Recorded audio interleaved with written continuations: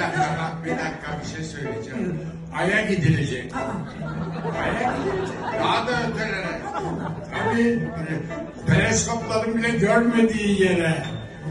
Ama şu dünyada ne zaman kimse aç kalmayacak. Ne zaman korkmayacak kimse kimseden. Ne zaman emretmeyecek kimse kimseye. Ne zaman yer yiyecek kimse Ne zaman umudunu çalmayacak kimse kimse. Ne zaman?